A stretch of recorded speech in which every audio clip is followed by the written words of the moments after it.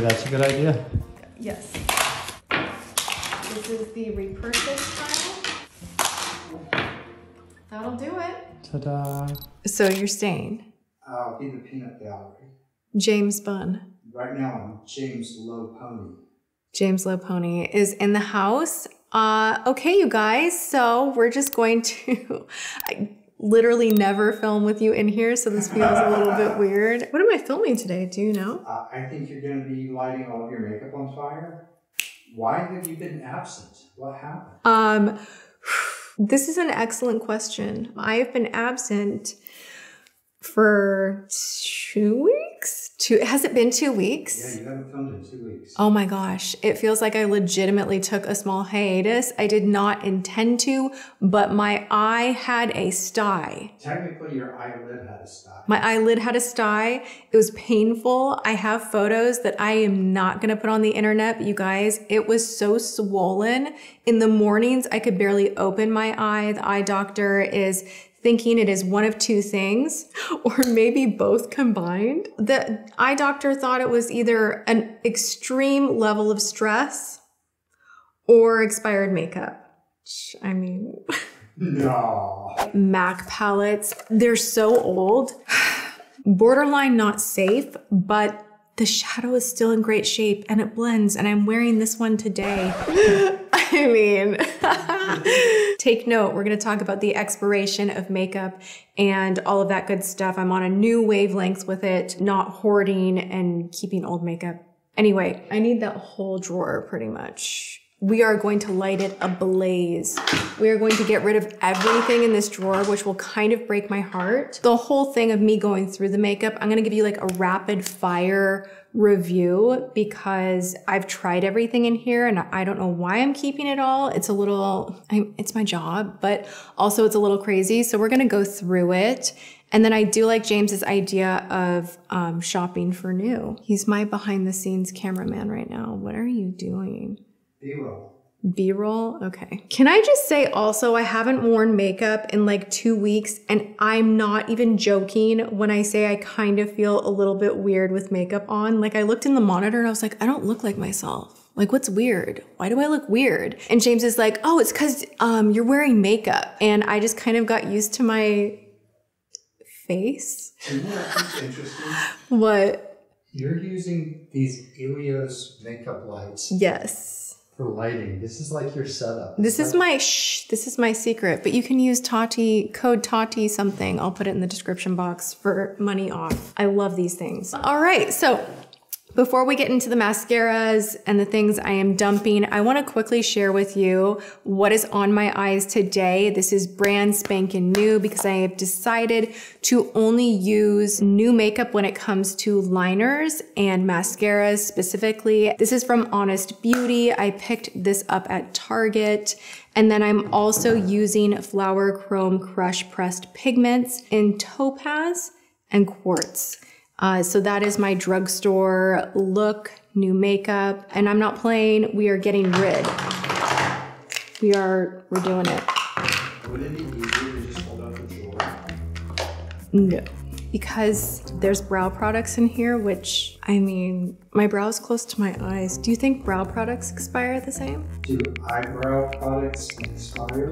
Eye pencils, like eyeliners, should be replaced after six months of use. Shut up. Oh my gosh. Meanwhile, brow pencils, brow gel, and gel liner can stay safely for up to a year. Products that have moisture, such as cream-based makeup, are prone to developing mold and yeast. The rule of thumb is to toss those items out after a year. We are all in danger. oh my gosh. Oh my gosh. I have to throw everything away.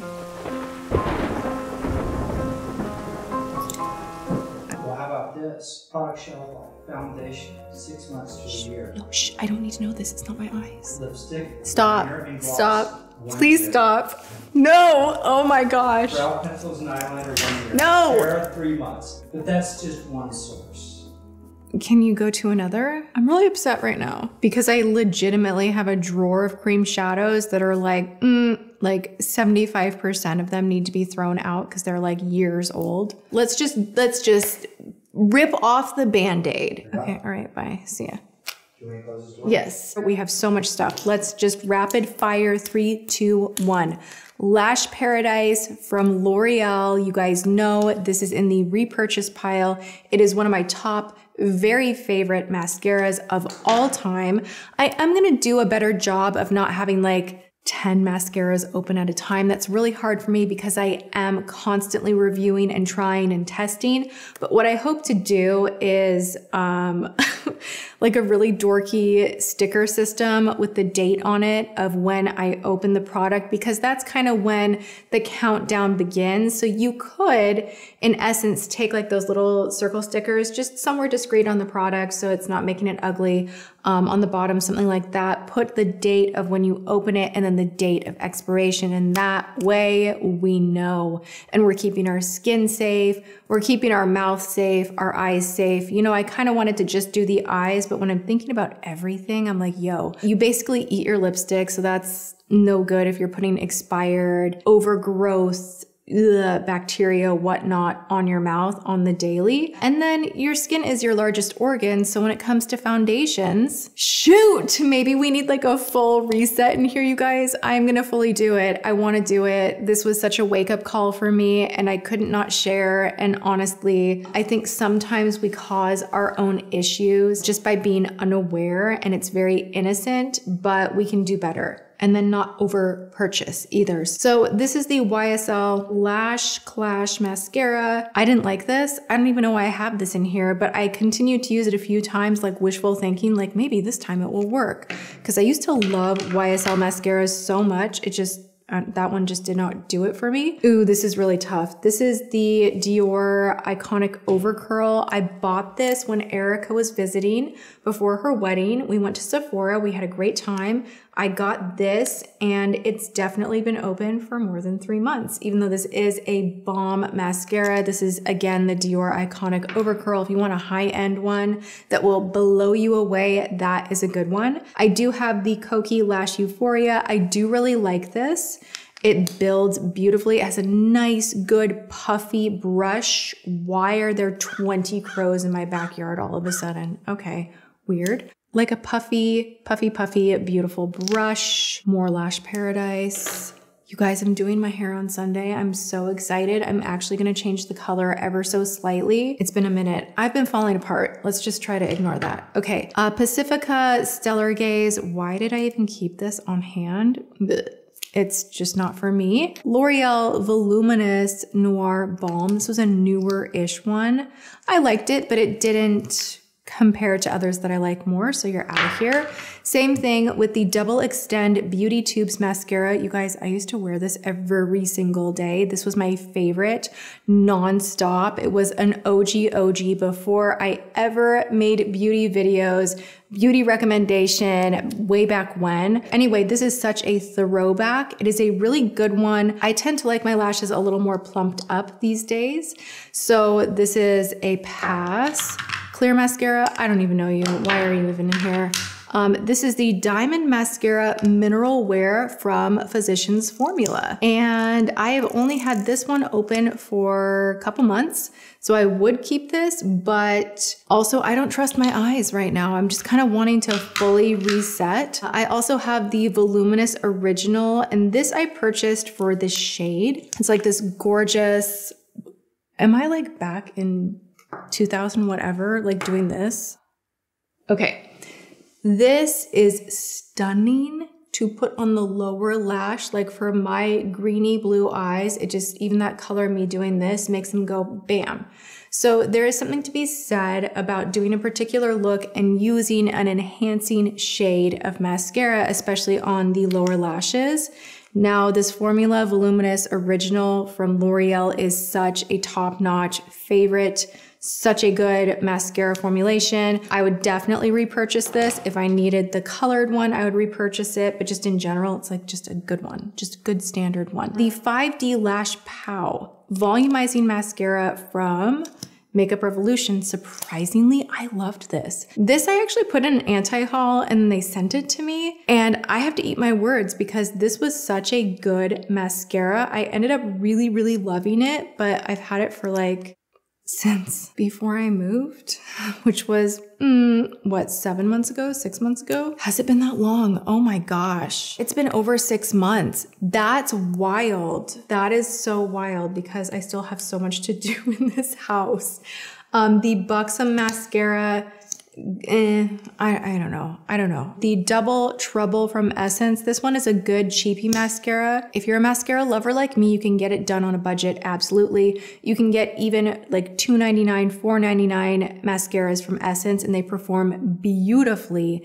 Let's all get on board at least like I know the eyeshadow, we can spray it with some alcohol. I know that we don't want to be throwing everything away every three months. And it's like, ah, how am I going to do that? But I think with mascara, at least do it because the mascara actually gets up in your eye. Uh, so we can all do a little bit better. All right, we have the Kill Lash Super Proof Mascara. This is an extreme volume mascara. I liked it. It was really hard to remove and there's something in here that did itch my eyes. So this obviously I won't be repurchasing. This was newer. This is the Makeup Forever The Professional. Remember when I did my AI picks my makeup or the virtual assistant picks my makeup from Sephora, I tried this out and I had high, high hopes for it. Sadly, I didn't like it and I used it a few times more and I just didn't like it. So um, Makeup Forever I love, but this one was a pass for me. Man, this just, this is just hard for me. Okay, we are also gonna get rid of, oh no, I liked this one, the Hourglass extensions. and the Grande Primer, plumper with peptides. This is a lash curler. I'm going for it. You guys, I'm just doing it. I'm doing it. I'm getting rid Oh my gosh, pomades. Do I even use these anymore? Not really. This one I just opened from Velour. This is their brow balm fluff and brow pencil. They sent this to me. Gonna put a sticker on it and keep it. The Unbelievabrow from L'Oreal. I just put this in a recent video as well. We'll keep that. The rest of you, It Cosmetics, Flower, Benefit, you're out of here. And honestly, I don't reach for any of these. I usually just go ahead and put uh, brown eyeshadow with a brush in my brow, and that's about it. Hold, please. Oh my gosh. I had been keeping these on hand because they were sentimental to me and they were in the background of so many of my videos back in LA. And you guys, like, it's like memory lane for me that there was always at least one person in the comments that was like, Tati, it's making me crazy that you don't straighten those behind you. Can you please? I, I can't even focus on your videos. And I'd be like, oh, I'd straighten them, they'd get messed up. It was the same comment at least a hundred times over. Anyway, you guys, these Marc Jacobs shadows were such a smash epic hit. They were so good. Okay, so let's rapid fire through here of what I would and wouldn't repurchase. Pixi makes phenomenal liners, you guys. The Endless Silky Pen. You can pick these up at Target. I'm gonna put this in my repurchase pile because I just think they're that good. I definitely wanna keep some of those on hand. They're so silky, smooth, long wearing, easy to work with. The Revlon So Fierce Vinyl is out of here. Revlon Color Stay Eyeliner out of here. I just don't reach for these much at all. Let's see here. Almay pencils from the drugstore, also super great. Most of these are Revlon. I do have a Mally pencil in here and I love Mally liners, but I have had them for over a year because I purchased the Mally liners for Christmas last year. I got like a cute little holiday set. So it's time to part with that, but I'll likely repurchase. So now we have Lorac liquid liner. All liquids are going. They're just out of here. Ooh, this is a tough one to say bye to, but I've had it for a couple of years now. This is the face liner uh, made in Germany. It's just a beautiful nude, one of my favorites. Really great for getting underneath the brow in the waterline. Oh my gosh. I also super love Patrick Ta liners. They are automatic, which I think I want to try and get away from as much as I can for a few reasons. One, they break more easily, they crumble more easily, you don't have as much control, and you can't sharpen them to keep them clean. But the formula is good, I will share that. And then we have, lo and behold, more Okay, these were like the favorites. Huda Beauty just sent me a brand new lifeliner, so score, I will continue using that. It's one of my favorites. Her formula just locks into place and it's so easy to use. I love the felt tip. So excited about that. This quick stick from Tarte, so good. I put this in a favorites a couple of times, I think, like favorites of the year and in a favorites when I got back on YouTube. And this product is so nice. But again, it's twist up and I've had it for a long while. But if you were curious, this definitely is a great one. This hourglass liner, oh my gosh. Like, I don't even know how there's any left in here. This one is just a beautiful color micro tip. It's the one five millimeter and it is in the shade bronze. Ah, I actually super, super, super love this and I need to repurchase it for sure. This is the waterproof Jillian Dempsey Jet Black Coal Liner. Whew, this one is like, I am obsessed. It's so creamy and it glides right on. You can, you know, buff it out, put it in the waterline. You can do so many great things with it. Gucci, you are overpriced and you are out of here. Stila, I love, oh my gosh. This is so good, the stay all day. Okay, I need that one again, even though it is retractable, we'll make an exception. Aqua Resist pencil from Makeup Forever. Mm, Mally retractable, I like the sharpened ones better. Rare Beauty, mm, no. Uh, more color stay. Ilia, you guys, I'm trying to find more gentle natural, especially around the eyes, like for mascara, for liner. If you have recommendations, let me know. The Ilia liner for me did not work out. It just crumbled too quickly and dried out too quickly. This is the gel liner in Blackest Black from L'Oreal, the 24 hour infallible. I'll be buying a new one of those. That is just like a staple. And actually I'm looking at my cute little pile of like my Lash Paradise and my gel liner and my Mally liners and the Jillian Dempsey and then some more colorful ones from Pixi. And this just feels like very correct and manageable. And I like it. You guys laugh at me every single time I say that I want to be more minimal. And it's been really, really hard with products because I test so many products and because it is my career. But just in life in general, I've had enough of all the materialism. I've had enough. I have not bought a new pair of shoes or a new bag in literally two years. I'm not joking. I went through my closet the other day. It's not set up still. I have all of my clothes in the garage. And while that sounds like, oh, poor me, whoa, it's not even a big deal because I just kind of wear whatever. And it's not my main priority. My main priority every day is to be physically and spiritually healthy, to be good to my family, kind to myself, and to just feel really, really good. I love feeling good.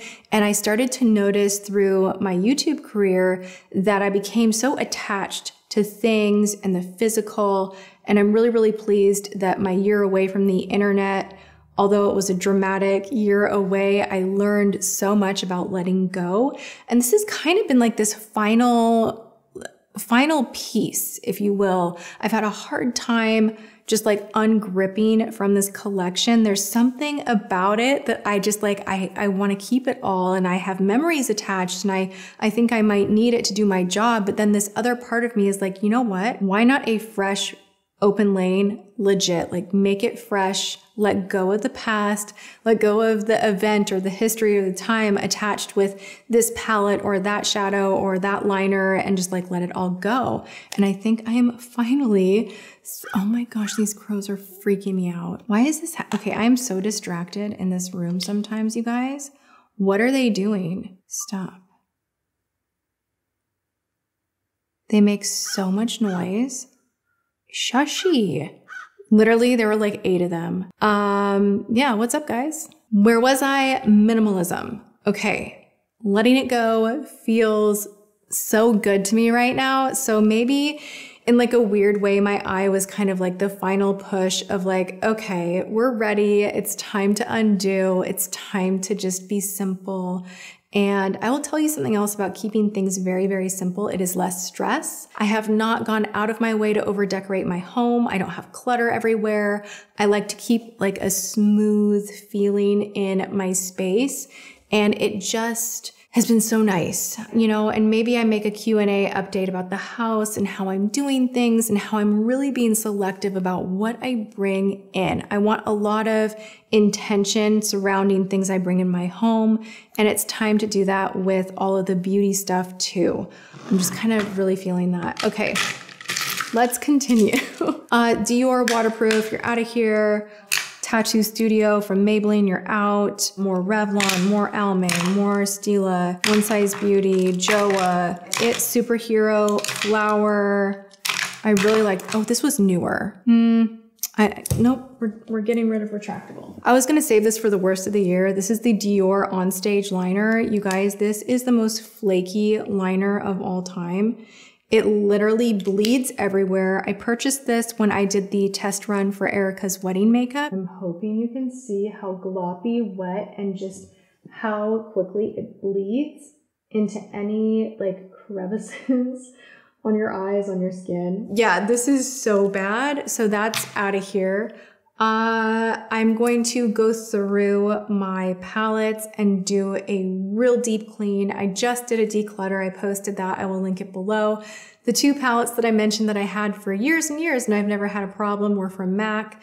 Those are definitely out of here. And then I think also all of my cream shadows. Oh my